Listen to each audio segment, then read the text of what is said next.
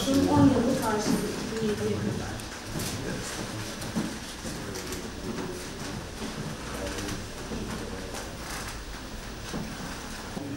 Mahkemede tam o anda saldırı oluyor.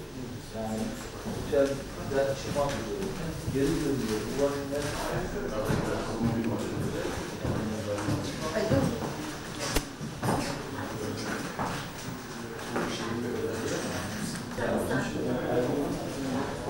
死いんだ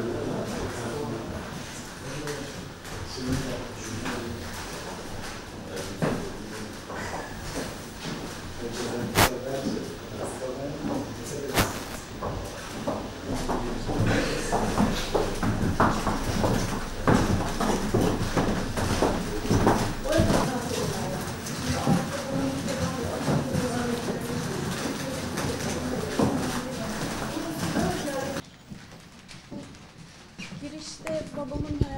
Dair küçük anekdotlar var. Aynı zamanda burası bir arşiv araştırma Bu da merkezi. şöyle takip edilebiliyor, Evet. dinlenebiliyor. Dönemin 90'lar aslında pek çok önemli tabu konunun televizyonlarda e, konuşulabildiği bir dönemdi.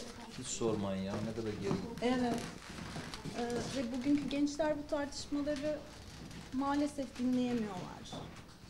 Hmm, yabancı bir kanalda. da. Evet. Mesela burada o zaman işte siyaset meydanı programı Tabii. saatler süren. Sormayın. Azınlık haklarının ilk konuşulduğu Türkiye'de kamusal alanda program. Tam bütün hali, o 3-4 saatlik hali burada var.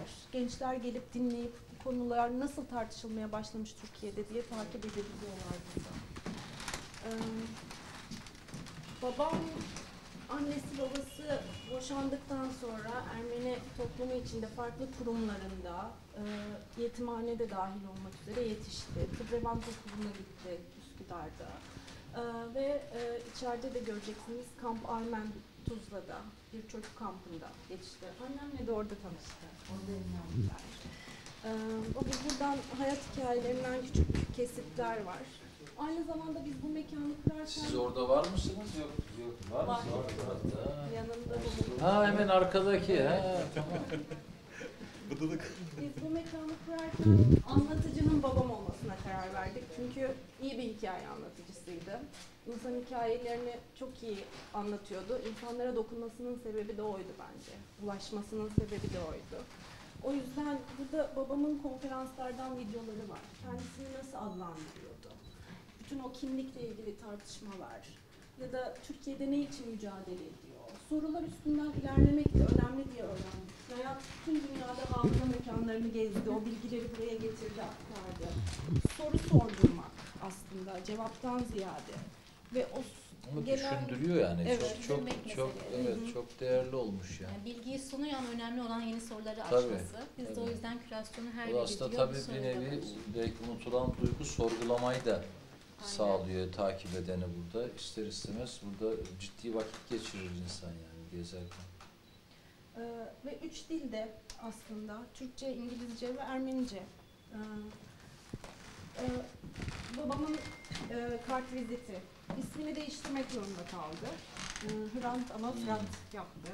Ee, İlhan ticarette maalesef ülkemizin gerçeklerinden biri. Ayrımcılığa maruz kalmamak için hala yapabiliyor. Ee, sonra Agos'u kurma süreçleri. Pasaport verilmemişti babama 2001 yılına kadar. Ee, işte 80'deki sol hareket yüzünden ama hiçbir gerekçe de gösterilmeden sonra 2001 yılında pasaport verildi. O da onun üstüne bütün dünyayı dolaşmaya başladı. Oradaki Ermeni diasporasıyla görüştü. Bütün diaspora aslında Türkiye'deki Ermenileri unutmuştu. Maalesef bütün hafıza 1915'te donmuş durumda onlar için ve acı şeyler üstünden hatırlıyorlar. Ama babam onlara Türkiye'deki demokrasi mücadelesini anlattı. Aslında Türkler, Türkler, Ermeniler hep birlikte bir mücadele devam ediyor burada ve siz de biz de bunun bir parçasıyız aslında diye anlattı. Ve birinci önceliğimiz de Türkiye'nin demokratik bir ülke olması diye anlatıyordu. Ve o bağları kurmaya başladı aslında. Oradaki anlayışı da değiştirmeye başladı. Burada biraz onun hikayesi var.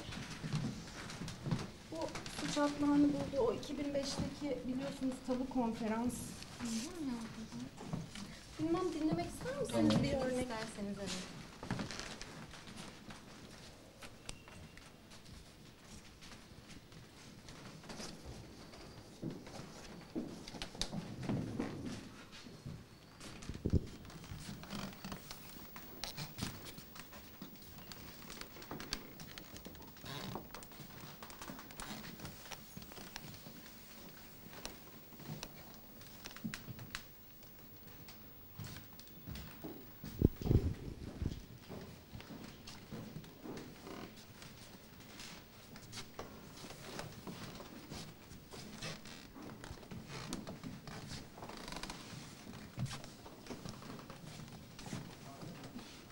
Röportajı yapan kişi an korkmuyor musun diye soruyor. Tehditler alıyordu çünkü. Yıllarca tehditler aldı. Ama onun hani hayata bakış açısı şeydi.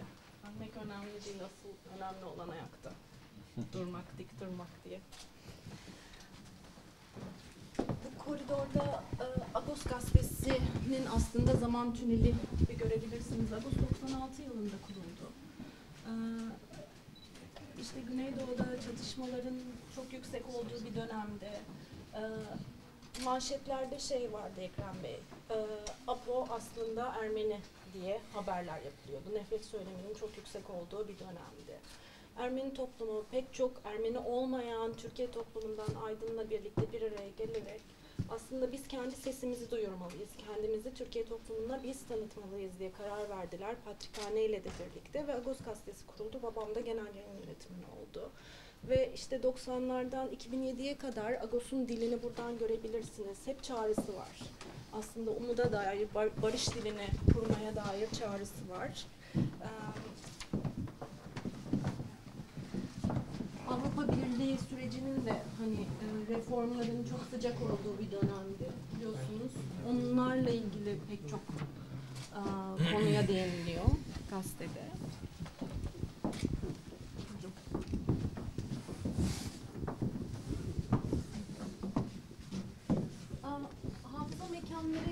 İlgili öğrendiğimiz şeylerden biri de ziyaretçilere paylaşım için alan sağlamak.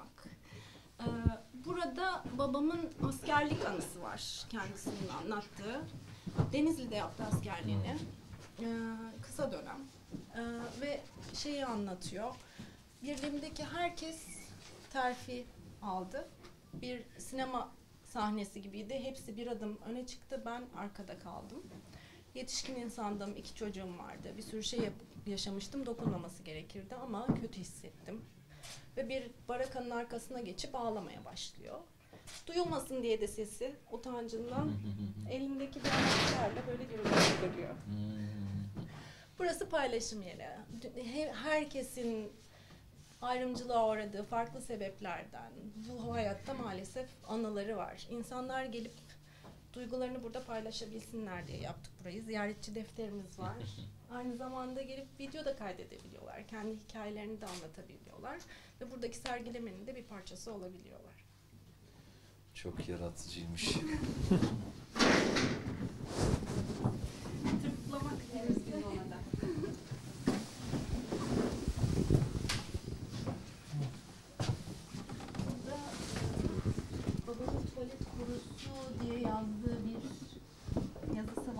1980'de e, gözaltına alındı.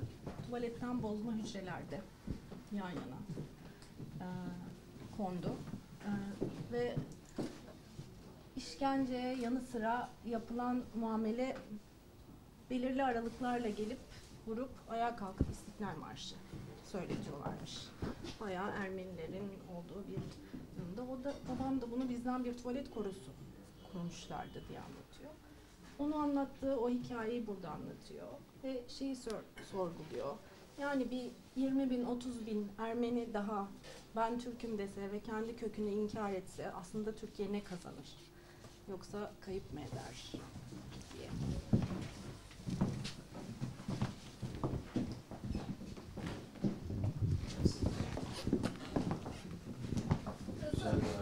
Evet. Ee, içeride dijital arşivimiz var. Çıkarken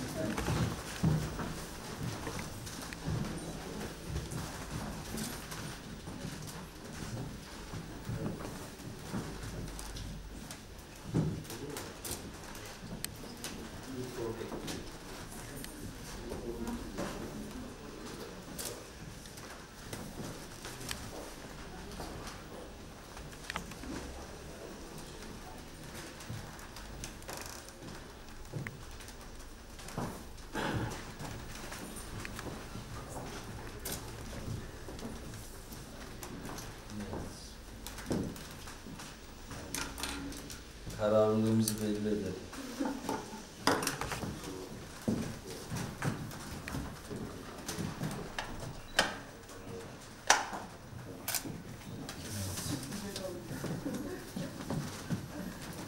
Umudunu da yanına koydum onu özellikle. Gittiler ve dediler ki Direkt konsolosa. evet öyle bir proje yapalım. koydular Burası bir e, Beni ziyaretlerinde tabii vakfın ziyaretinde böyle bir e, müze olduğunu öğrendim. Açıkçası bilmiyordum. E, tabii e, rahmetli Hrant Dink bence e, toplumumuzun e, çok önemli ve değerli bir sesiydi.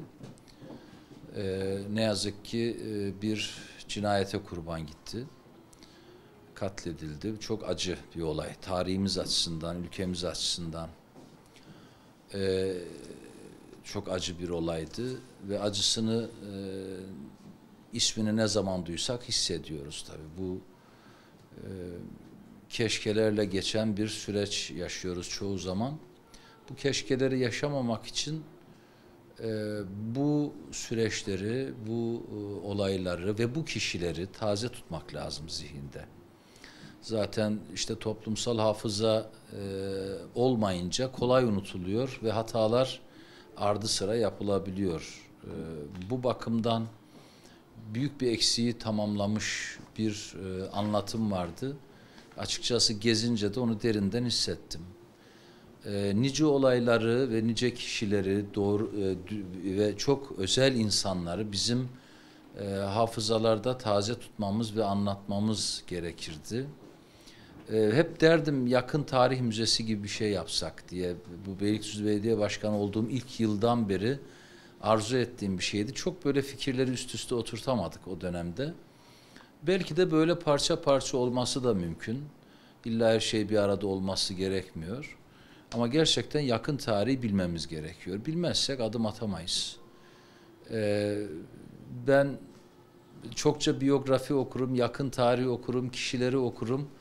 Ee, bu benim bazen e, oğlumla aramızda kavga olur. Baba azıcık da roman oku der yani falan. Ben de onları çok okuyan birisiyim ama muazzam faydalandığımı ifade edebilirim. Hele hele doğru kaynakları yakaladığınızda gerçekten insanın yaşamına e, müthiş ışık tutuyor. Çünkü en önemli şey deneyim. Toplumsal deneyim de önemli ama e, bunları yaşayarak elde etmeniz mümkün değil. Ama birileri yaşamış. Biz niye bir daha acı olayları yaşayalım ki? Niye böyle bir çatışma ortamın? Halbuki e, bir barış e, sözü olan, barışa dair katkı sunmak isteyen bir insan katledildi. Bunu anlamak, o zaman birilerinin yazdıklarını daha iyi idrak etmek için belki birkaç defa daha okumak gerekebilir. Bu bir titizlik, bir hassasiyet. Hani e, insana saygı, insana ya da fikirlere özen göstermek gibi bir şeyde tanımlayabiliriz bunu. Böyle bir duygu. Bu bakımdan Hrant Dink'in bu e, özelliğinin e, burada yansıtılması, ne duyduğunu, ne hissettiğini, aslında ne anlatmak istediğini burada e, birebir kendi kayıtlarından, kendi kaynaklarından aktarılması çok özel.